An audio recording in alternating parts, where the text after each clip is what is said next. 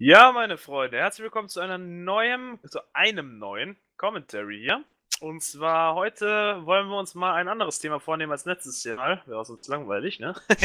ähm, heute nehmen wir das Thema äh, der Games in der Öffentlichkeit oder die Ruf der Games in der Öffentlichkeit im Allgemeinen. Denn das ist immer wieder ein Thema, was mich persönlich teilweise ziemlich aufregt, wenn ich da so äh, schlecht vorbereitete Sendungen sehe im ZDF oder in anderen öffentlich-rechtlichen Fernsehen, die dann wieder meinen, sie hätten eine Ahnung und müssen dann wieder über die Schrecken der Spiele, des Spielekonsums berichten. Die bösen Ballerspiele, ja, das, ey. Ja, die, die bösen Ballerspiele, genau. Die Killerspiele, Kevin. Killerspiele sind das bitte, ja. ja, ja. Und die Kids, die sitzen den ganzen Tag vor, dem, vor der Glotze und machen nichts mehr anderes, als die ganze Zeit die Killerspiele spielen. Wo man und den wenn, Leuten und, Kopf und werden alle ne? zu Amokläufern, ne? Werden alle zu Amokläufern. Ja, werden alle zu Amokläufern, ne? Denn wir, wir schießen den Killern in den Kopf wiederholt und immer weiter, ne, bis das Magazin leer ist und dann wird nachgeladen, weißt du? also wenn ich da wenn ich schon wieder, nee, wenn ich sowas höre, ähm, dann rollt sich bei mir sämtliche, äh, sämtliche Haare auf meinem behaarten Rücken auf und das sind viele Leute. Und oh äh, oh das, ist, nee, es ist ein Thema, es ist einfach Sachen, Sachen, äh, das kann ich einfach nicht akzeptieren und ähm, deswegen nehmen wir uns das heute mal als Thema vor. Ja, Kevin, ähm, Willst du was nochmal zum Anfang dazu sagen? Ja, eigentlich, eigentlich hast du schon alles erwähnt von Anfang. Ich habe schon alles so grob mal gesagt, ja. so wie das in Deutschland ist, denn äh, man muss Nicht, leider sagen, ja. es hat sich sehr viel getan. Also man kann schon sagen, dass es sehr viel getan hat, weil wie das am Anfang war, das war schlimm. Ja, da wurden wirklich äh, Gamer als Tiere dahingestellt, ne? Und, immer, ähm, immer noch so, wenn ich nur ein, einmal kurz einwerfen, wenn ich mal an letztes ja. TV Total denke, wo die bei der Gamescom waren, da, da fing gerade mit dem Satz an, ja, auf der Gamescom sieht man nicht nur dicke, fette, blasse Jungs, sondern mittlerweile dicke, fette, blasse Mädchen. Und mit diesem Satz habe ich schon gedacht, aha. Aha, er sagt, okay, da hat ja. wieder eine Ahnung, wa? Da hat wieder eine Ahnung, naja. ja. Und dann haben die dann ein paar interviewt, davon alle entweder fett, waren mega Gamer, die hatte so eine Jaina-Cosplay-Tante wurde interviewt. Ja. ja. Die Cosplays, äh, ja, fette Leute, die also Cosplays es, machen. Nee, das war ein Jaina-Cosplay und dann sie dann, ja, also es geht ja eigentlich nur Mana. Ja, was ist der Mana? Ja, Mana ist das, was man. Ja, und kennst du noch was anderes außer WoW? Nö, das kenne ich eigentlich nicht. Ja, das, nur, nur so eine Menschen haben die interviewt. Natürlich dann wieder. ja, das, ist, das zeigt Bild, mal ne? wieder äh, da hast du doch letztens auch noch ein Beispiel mir eben gesagt, zum Beispiel, wo du irgendwas gesehen hattest, wo die wieder einen rausgepickt haben aus Ja, ja, bei, bei ZDF Lorin haben die im Publikum wieder natürlich die gefragt, die ähm, am meisten nach Gamer aussehen, fand ich mir sofort aufgefallen. Ja. Das Aber das ist auch wieder als Beispiel, also ich finde ein Klischee. Beispiel, was wirklich, glaube ich, das berühmteste ist im ganzen äh, Wie das Fernsehen, im Keller? ist das RTL-Interview ähm, zur Gamescom. Ich weiß nicht, vor einem Jahr oder vor zwei Jahren. Vor zwei Boah, holy shit, da haben Vor zwei Jahren. Da haben also sie sich ja richtig ich, unbeliebt gemacht, ne? Ich weiß, ich habe mir das dreimal angeguckt, weil ich einfach so lustig fand, Leute. Das ist ohne Spaß. Äh, hm. Die haben, also das erste, die fing an mit, ja, ähm, wenn sich Alien auf diese Welt begeht, so haben die angefangen, den Bericht anzumoderieren. Wenn sich Alien auf diese Welt begeben würden, dann würden sie wohl auf der Gamescom die nächsten Verbündeten treffen, ey. Ja, das ist wirklich das Los, ey. Und, ohne Scheiß. Also ich hatte das ja auch gesehen, so aber daran erinnere ich mich gar nicht mehr. Aber so auch lustig, ne? Und dann, und dann, dann am nächsten, äh, Markus, letztes Jahr war RTL auch wieder auf der Gamescom, da hat noch irgendwie, ja. ich glaube, Commander Riegel was Bilder Facebook gepostet, dass die sich nochmal hertrauen, hat er untergeschrieben. Ja, ja, ja. Dann haben die ja, dann haben die dann in dem Bericht, ne, ohne Scheiß, ey, ich habe wirklich so einen Lachkrampf bekommen. Da haben sie dann irgend so eine, weiß ich nicht, so eine, so eine Dorfschlampe oder so eine Hure dann da, die so eine, so eine, äh, die sich so wie nuttig geschminkt hat, damit es den RTL-Zuschauern gefällt, ne? ähm, haben sie dann so eine Möchtegern-Expertin dann auf die Gamescom geschickt dann da und haben, ist dann dann richtig angewidert, dann musste die die ganze Zeit, wahrscheinlich hat sie so, so Gesichtsspangen bekommen, dass sie die ganze Zeit so angewidert da rumläuft dann alle dann, ja, ohne Witz, dann äh, lief sie dann da rum und musste dann die hässlichsten Menschen dann suchen. Da haben sie sich die Aufgabe gesetzt wahrscheinlich, wer die hässlichsten Menschen zum Interviewen findet, ne? Und dann haben sie die dann genommen, ey, ohne Scheiß. Da waren Menschen dabei, wo ich wirklich, ich war ja auch, äh, ich glaube, vier Jahre hintereinander war ich jetzt auf der Gamescom. Und ich muss sagen, da laufen teilweise Menschen rum. Ähm, das ist schon heftig. Aber ich meine, das ist nicht die Mehrheit. Also ich ab und zu, ich habe vielleicht, du siehst vielleicht drei Leute oder so, oder, oder riechst am besten. Sag drei Leute. der ganzen, weißt du, wie viele das sind? Wir sind samstags immer da gewesen. Samstag ist so voll, dass du da wirklich, du, du kannst dich nur in zwei Schlangen einreihen, weißt du, in eine Richtung und in eine andere Richtung, du kommst da nicht raus, den Schlangen, so voll ist es da. Und da, da fallen dir drei Leute auf, weißt du, die anders sind. Normalerweise siehst du da ganz normale Menschen, die da rumlaufen, ja? Also ich will mal kurz mal so, mal, mal kurz von der Game-Thema ab ein bisschen. Äh, ja. wenn man denkt, die, Sta die Standard-Klischee, sagen wir, ich bin ein Standard-Gamer, ein Klischee-Gamer. Also, ja. ähm, fangen wir mal an. Ich sitze den ganzen Tag im Keller und ich bin nichts anderes als World of Warcraft und pumpt da Geld wie nichts anderes rein. Ja? ja? Wenn, wenn World of Warcraft mal nicht gegen die Server down sind, leide ich unter Entzugserscheinung. Ich bin Nein, ein sehr. Schreien, wenn deine CD kaputt ist, schreist du rum. Ja, das auch. Jedenfalls an die Öffentlichkeit, wirst von dem Sonnenlicht geblendet und rennst dann zu deinem Freund und holst dann dir erstmal eine neue Disc und dann wieder ja. nach Hause zu rennen, hopsend, weißt du? Ja, Markus, ist gut jetzt. ja, nee, ist ja, jedenfalls, so, ich bin ein. so dargestellt. So, also Der jedenfalls, ich bin. Springt, ich will endlich zocken, weißt du, auch einmal Jedenfalls, also ich bin ja. unglaublich fett. Ich bin unglaublich fett, ich fresse ja. ganz andere Chips, alles unaufgeräumt. Ich bin sehr blass, weil ich ja die Sonne sehe. Ähm, Kevin, du kriegst auch keine Freundin ab, das musst du auch und, mal sagen. Äh, duschen, äh, duschen reicht dann, wenn die Server mal down sind. Sonst, ja, ja. sonst, sonst, sonst ja keine Zeit dazu. muss auch mal waschen, ne? Ja, wenn überhaupt. Und sonst weiß er, Stelle, Stelle, Stelle merken und Lappen holen. Wenn es juckt, Stelle merken und waschen dann, ja. Oh, äh, also, geht, äh, äh. Ja.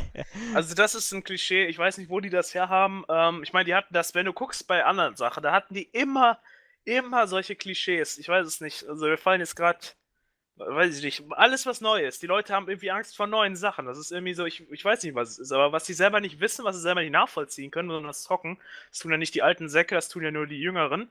Und Außer Heiner. Äh, die können dann vor allem das nicht nachvollziehen, ja. Außer Heiner, Heiner darf das. Ja, Heiner darf das. Äh, also die, die, die, die, die, die verstehen das aber nicht, weil sie selber nicht, das ist glaube ich der größte Punkt, weil sie selber das nicht Spielen, das fand ich bei, wir können mal Bezug auf Lorin nehmen, das fand ich da am besten. Der, als, als Fabian Siegesmund sagte, was haben Sie mal gespielt?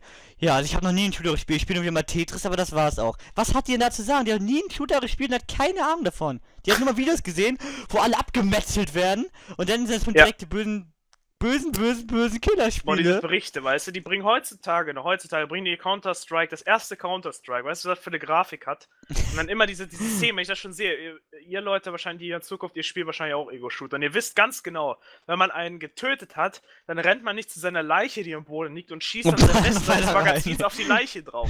Wer macht denn so einen Scheiß? Ohne Witz, wer ist denn so blöd? Ja, das, das zeigen ja in dem Video als, als Standardhandlung, dass du hinrennst, wenn du einen Typen erschossen hast, und dann musst du in den Boden, also in die Leiche, die ganze restliche Magazin schießen. Und dann müsst ihr dabei noch so, so lachen, so also richtig verrückt lachen. Das ist, dann so stellen die das in Dokus da, Mann, ne? In Dokus, die ähm, eigentlich ähm, dazu da sein sollen, die Realität zu zeigen, ne? Also das ist ja nicht, die sollen ja den Menschen bilden, ne? Die sollen ja nicht irgendwie den irgendwie eine Meinung einpflanzen. Ne? Das ist ja eigentlich neutral, soll das sein. Und so eine Scheiße zeigen die dann da und stellen das dann als, als äh, Bericht dann hin, der irgendwie halt nicht fundiert, wissenschaftlich fundiert ist, was ja meistens überhaupt nicht stimmt. Und also, das ist wirklich teilweise eine richtige Frechheit, ja. Und das, ja. ähm, es gibt, also ich habe letztens was gesehen, Professoren, da merkst du auch sofort den Unterschied, die sich damit beschäftigen, weißt du? Die sagen dann direkt, ähm, dass das nicht mehr so, wie man das früher gesagt hat, betrachten kann, sondern dass das alles sich geändert hat, ne? Dass die, ähm, das, ich, das, du musst ja mal vorstellen, viele Leute wissen das ja gar nicht. Die äh, Spieleindustrie, die macht mehr Geld für mit einem Spiel als die meisten Filme. Ich weiß nicht, GTA 5 hat. Da siehst du auch, wie, wie, wie teuer die Spiele sind hier. Destiny ist jetzt, äh, überholt jetzt GTA 5. Das Spiel kostet 500 Millionen Entwicklung und Flut der Karibik äh, Teil, habe ich jetzt gelernt, 260 Millionen gekostet. Ja, das hat längst also nicht die Einnahmen, weißt du? Da hat Rockband, also nee, oder war das, nee, Mu oder, nee, nicht Rockband, sondern hier äh, Guitar Hero hat ähm, den Budget von, äh, ich weiß es nicht, von Titanic überholt, ja. Dr äh, Guitar Hero, Mann, weißt du, das, also ohne Scheiß. So ein, so ein Spiel, was noch nicht mal so Mainstream ist, ne?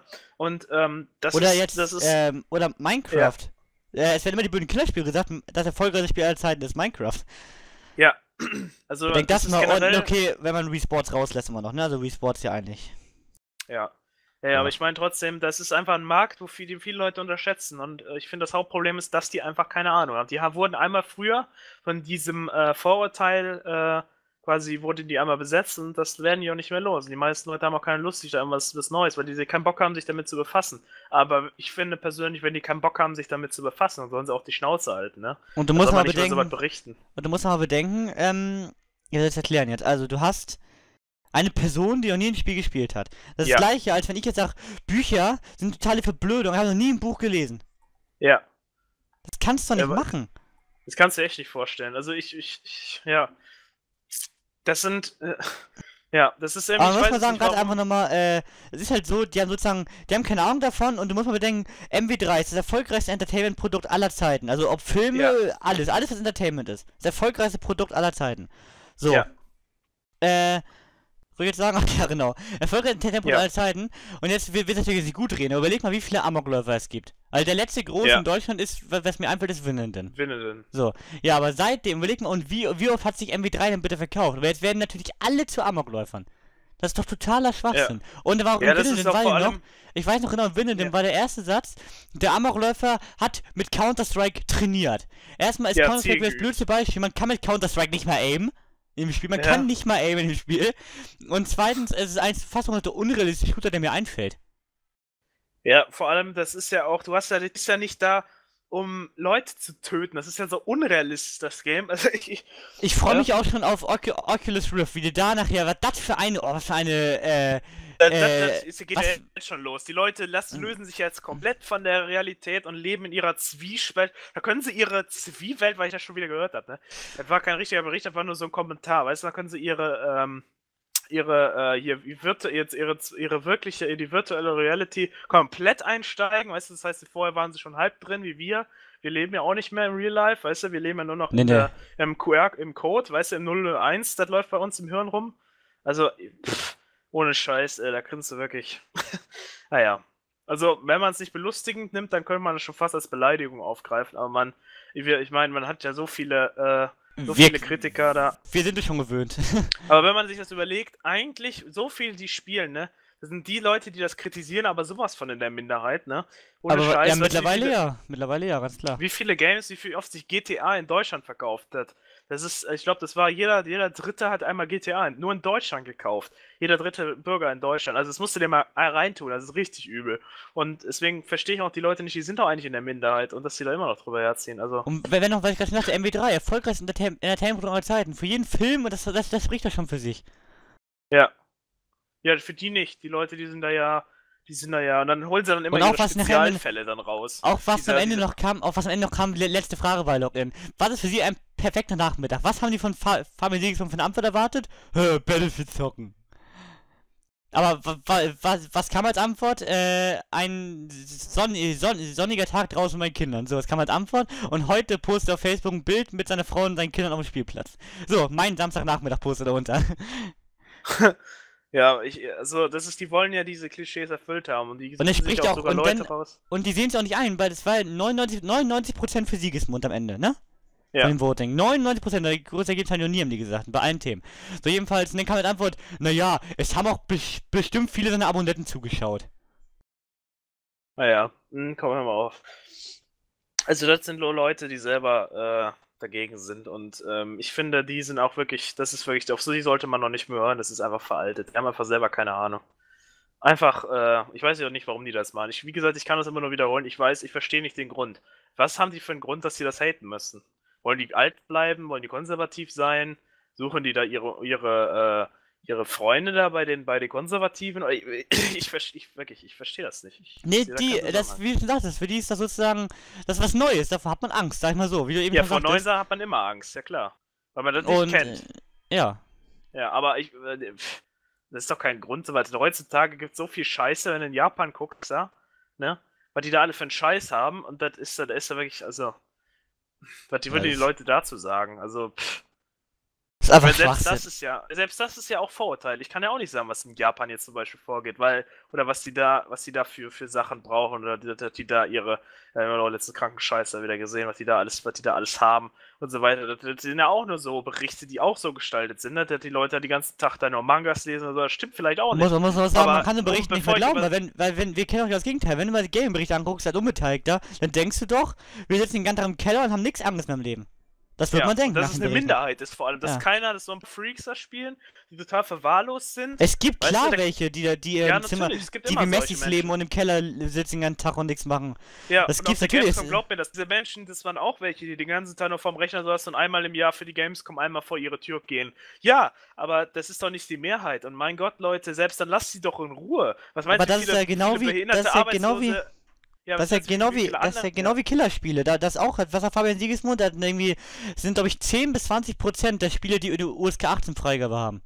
Aber es werden ja. nur die genannt. Die anderen Games, sowas wie Minecraft, äh, nee, nee, brauchen wir gar nicht erwähnen. Das würde es ja ein positives ja. Licht drücken. Nein. Nee. Nur nein, die nein, bösen, bösen also... Killerspiele gibt's ja nur. Spielen doch alle nur Killerspiele. Es gibt nichts anderes. Ja, und vor allem, dass die ganzen anderen Menschen, weißt du, die in Hartz-IV-Buden da verrecken und die ganze Zeit vor RTL hocken. Da habe ich noch nicht eine scheiß Doku gesehen, die über diese Menschen geht. Weißt du, diese, diese Verwahrlosten. Das sind wirklich verwahrloste Penner. So, und äh, die die ganze Zeit nur ASI-TV gucken und Hartz IV kassieren. So, und aber die lässt man in Ruhe, ne? Was mit den Gamern, die kann man nicht in wird Ruhe mal gesagt, äh, wenn so aus Sicht äh, der Eltern, weißt du, die würden es doch lieber besser finden, so, wenn ihre Kids, auch mal dieser tolle Modebegriff. Ja, Kids, wenn, wenn, wenn, neu moderne Ausdruck, ja. Mh, wenn ihre, die würden es doch besser finden, wenn ihre Kids ähm, den ganzen Tag vom Fernseher sitzen und RTL gucken, anstatt zu zocken. Obwohl beim Zocken hat man erstmal lernt man dann noch was mit, äh, sag mal auch also ja. Sachen Reflexen und so. Und ich sage ja. euch, ich glaube, die Hälfte meiner Englischkenntnisse habe ich nicht durch die Schule, sondern durch äh, Gaming und ja, online mit YouTube. irgendwelchen. Ja, das auch, ja. und auch durch, oder halt das Song auch. Ja, generell Medien, YouTube und so weiter. Also das ist ja alles. Äh, ja, guck mal, ich guck mal, ich glaube durch einen PewDiePie, wenn, wenn ich mir einen Abend lang, ich gucke relativ PewDiePie mittlerweile, wenn ich abends PewDiePie gucke, le lerne ich mehr als eine Stunde Englisch. Das ist. Ja. Ja. Weil, und was ich jetzt sagen wollte, äh, weil eben noch zu neuen, die Menschheit hat Angst vor Neuem sozusagen, ne? Ja. Und da, da fällt mir auch das beste Beispiel ein Google Glass. Das wurde immer verboten jetzt, weil man damit irgendwelche Videoaufnahmen machen kann, die man auch sonst überhaupt nicht machen könnte. also ja. da auch wieder, also die Angst, was Neues, nee, lass mal lieber. Mhm. Ja, ist aber so die Urangst des Menschen und ich glaube, die spiegelt sich da Nix auch Neues. wieder Das ist das gleiche wie das Angeteer, was ich vorhin vorgeschlagen hatte für ein Commentary. Hier, dass immer mehr Spiele als Download-Fassung und kaum noch als Retail-Fassung so sind. Gerade PC-Spiele, weißt du? Ja. Da läuft ja, es nur über Steam. So jedenfalls, das ist ja auch immer diese Angst, so wie viele mal sagen, oh, ich kann nicht mehr meine Sammlung und Download ist voll blöd, nachher mit, passiert irgendwann mit Hack oder Server und alles ist weg oder so. Das ist doch auch ja. so. Mit, mit, mit, mittlerweile sagen alles viel praktischer und so weiter. Ja. Es ist einfach so, man, der Mensch möchte nichts Neues. Das Gaming ist ja theoretisch auch noch neu. Wir haben jetzt ja vielleicht so richtig, dass es Mainstream ist seit, wie lange haben wir das jetzt? 20 Jahren, sag ich mal, dass es Mainstream ist. Nee, Oder? Mainstream ist es nicht mehr, nein, Quatsch. Das ist ja erst, also ich, ich habe mich ja mit dem. Äh, Na gut, so richtig Stream Mainstream vielleicht seit, äh, seit der Jahrtausendwende ungefähr, würde ich sagen.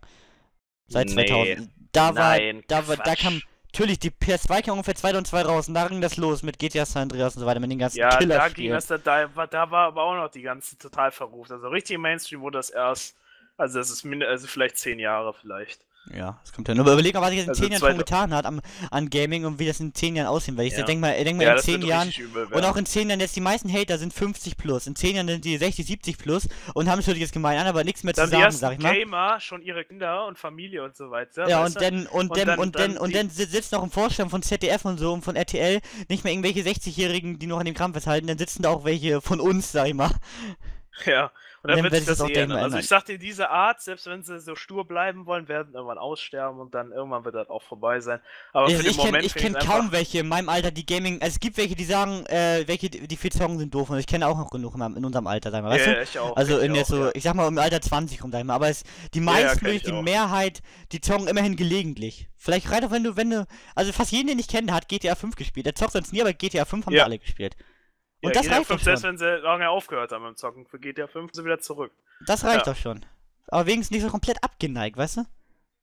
Ja, ich, ich meine, ich habe auch keinen also Grund, wir, wir, man sagen, haten. wir, wir ja. zocken schon viel, sag ich mal, aber was interessiert das andere? Wir sollen doch Spaß haben, woran wir Spaß haben wollen. Das ja, ist das gleiche, welche, ich kenne eine Person, ähm, ja. die liest den ganzen Tag Bücher, die steht morgens auf, äh, also auch äh, Beispiel in den Ferien damals, steht morgens auf, nimmt ihr Buch in die Hand und äh, geht abends wieder ins Bett. So. Ja. Äh, ist das jetzt besser, weil du was liest? Natürlich ist das Bildung, weißt ja Bücher, ne? Ja, ähm, klar, es ist ja was aber, Gutes, ja. aber ist das jetzt äh, was anderes, als wenn du den ganzen Tag drin bist und zockst? Okay, du sitzt vom Bildschirm, der ja auch mal so verrufen ist, dass davon Augen kaputt gehen, alles, was auch nicht stimmt, denke ich mal. Aber welche, ich kenne auch genug den ganzen Tag zocken und die haben super, auch ich, ich habe keine Brille oder irgendwas und zocke auch fast den ganzen Tag, wenn ich Zeit habe. Ja, ich hab's auch, ich hab's angebahnt, von daher kann ich dafür nichts. Ja. Und ich habe auf meinen Augen auch 160 Prozent, also. Aber ich verliere auch keine sozialen Kontakte. Wenn ich jetzt jemand anruft, Kevin, Bock raus, bolzen eine Runde, dann, dann mache ich, mach ich hier Rechner aus und los geht's. Ist ja nicht, nicht ja. so, dass ich jetzt sage, ne, äh, heute habe ich, da habe ich auch in der Klasse gehabt, heute habe ich Clan-Training, heute konnte ich kein Fußball spielen. What the fuck? Nee, Clan-Training ist ja nicht, nein, nein, nein, die stellen das ja im Fernsehen so da, heute muss ich meinen Elfen füttern. Ja, oder, oder, oder ich hab. Elfen ausführen oder so. Oder ich hab, mach ich Amok-Training, weißt du? Ja, Stimmt, ja, ich, ich, muss, ich muss gerade lernen, auf Leute tot zu schießen, weißt du? Ich muss ja üben, ihr wisst ja, dies, das, ne? Also das ist echt so, was ich finde. Auge. ja. Und überleg mal, wie viel, allein, weil wir gerade bei Gaming waren, es gibt ja auch diesen Lerneffekt, allein, wie viel Kreativität du in Minecraft ausleben kannst, das hätte ich im Kunstunterricht damals niemals hinbekommen, da ich nicht zeichnen konnte. Da konnte ich noch so ja. kreativ sein, ich konnte es nicht auf Papier bringen. Aber Minecraft das ist auch interessant, wenn ich mal das... Überleg, ja. überleg mal, wie viel du durch Minecraft, und auch in, siehst du in Schweden, da sind wir ein bisschen weiter, da ist Minecraft mittlerweile in Schulfachen anerkannt. Ja, wenn das, wenn das da schön ist, so akzeptiert. Stell dir mal vor, wenn, wenn das die ganze Games-Industrie mal akzeptiert würde, weil was da am Ende noch rauszuholen. Also ich freue mich schon ein bisschen auf die Zukunft da, was man da alles noch in Zusammenarbeit damit machen kann. Da und kann ich man, denke ich, auch, sehr viel noch rausholen. Ich denke, dass mit ja. Oculus Rift noch viel erleben. Oculus Rift, guckt das mal an, da werden wir später als Beispiel Piloten, die werden damit super trainieren können. denke ich auch. Als Beispiel der Eis und Kram, es wäre ja nicht nur als Spaß. Das wird und auch, auch der Facebook ist aufgekauft hat. angewendet, ja. Und auch der Facebook ist aufgekauft hat, denke ich. Ja, das ist ja, ist ja wieder Killertraining, ne? Ja, ja, ist ja Killertraining. nee, der Facebook ist aufgekauft hat, denke ich auch mal, dass auch äh, so, Sozialsachen rauskommen, wie zum Beispiel, ich bin im Urlaub, wir, ich habe äh, ich, ich, ich stream für die Saison Oculus Rift, dann können wir uns zusammen den Sonnenuntergang angucken, äh, was weiß ich, wo im Harz. Ja. also, so theoretisch, ich, ich denke mal, Facebook wird auch äh, Profit rausschlagen, das hätten die sich Ja, die werden auf jeden Fall, haben die das nicht ohne Grund gekauft, weil die sehr Und auch fürs Gaming, für diese bösen Killerspiele ist es eigentlich bisher relativ ungeeignet, weil da musst du mit der Fresse aim. ist ja. doch so. Ist im Moment noch nicht. Ich habe ich mit meinem äh, Kollege Lenz drüber geredet, ähm, Arbeitskollege. Ich denke mal, es wird dann so sein, dass man halt ähm, das Fadenkreuz nicht mehr fest in der Mitte ist, sondern dass das variabel ist, dass man das Fadenkreuz separat steuert, weißt du? Ja, oder du, so muss es ja sein. Oder, ja, ja. Ja. Okay, oder, ich... oder, oder bei so Sachen wie Wii, dass du wirklich das irgendwas in der Hand hast, noch womit du dann aimst, weißt du? Aber irgendwie ja, muss ja, es ja. Du musst das Fadenkreuz separat aimen, du kannst nicht mehr mit der Kamera das aimen, das geht dann ja nicht. Nee, nee. Also irgendwann müssen sich da einfallen lassen. Da ja. jedenfalls, und das wird dann auch wieder durch das Oculus Rift als böses, böses Killer-Training. Da, dadurch sogar noch mehr. Das ja, das ist aber auch wieder noch was Neues. Aber irgendwann, ist vielleicht um abschließende Worte mal zu finden, ja. irgendwann sind die weg, die das haten, und irgendwann werden sie es alle akzeptieren, weil dann sind nämlich die daran, die davon Ahnung haben. Gut, und damit würde ich sagen, Leute, war das erstmal ein bisschen. Eine, eine Sache möchte ich noch erwähnen, Markus. Oh, äh, bei unserer Politik, sag ich mal, da haben wir auch noch relativ viel Gegenwehr, sag ich mal. Also, wenn wir sich den deutschen Videospielabpreis angucken, die, Dis die, die Diskussion, dass Crisis 3 nicht gewinnen sollte, weil man 18 Titel ja nicht auszeichnen soll. Ja. Ähm, äh, sag schnell. Sag schnell, schnell, schnell. Na jedenfalls, also unsere ja. Politik ist ja auch komplett dagegen. Also es ist ja nicht so, dass wir irgendwie jetzt. Sie ist ja auch an der Indizierung. In keinem anderen Land wird so viel gecuttet und indiziert über uns. Ja. Außer, außer vielleicht sowas wie Nordkorea und China und so, aber jetzt, guck mal, in der USA kommt fast, äh, wird auch gecuttet, ist zwar sexy und sowas, aber da wird nicht komplett das Spiel indiziert. Ja. Man kann doch einen 18-Jährigen nicht noch bevormunden, man soll doch einen 18-Jährigen zocken lassen, was er möchte. Ja. Okay, das Einzige, was ich wirklich verstehe, ist, dass man in äh, Wolfenstein so vielleicht die Hakenkreuze rausschneidet. Das kann man vielleicht verstehen, da sind, da sind die Deutschen vielleicht noch ein bisschen ja, ja teilweise noch richtig Aber andere Sachen gucken wir uns Doom an, dass das, ja. damals in, dass das damals indiziert wurde, nur weil man da irgendwelche Leute zerfleischt. Das ist eigentlich wie heutiges Left 4 Dead theoretisch.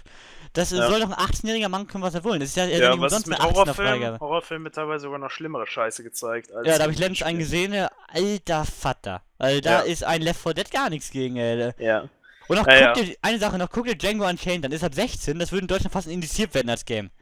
Ja, als Game schon mal vor allem, weil du da ja selber drauf schießt. Du bist ja Ja, stimmt, das ist immer noch dieser Interaktivfaktor. Du machst ja alles selber, guckst ja, ja nicht nur. Ja, ja.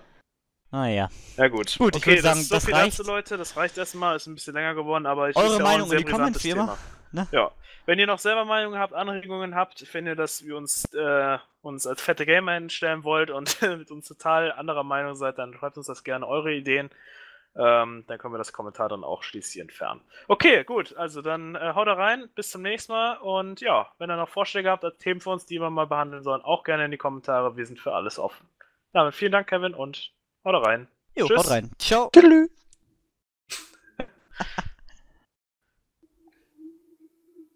Hitzige Diskussion, ich schwitze ja schon fast. Mensch, wo ist denn jetzt der Beenden-Button? Ich schwitze ja schon fast. Ja, ich schwitze ja schon fast, glaube ich.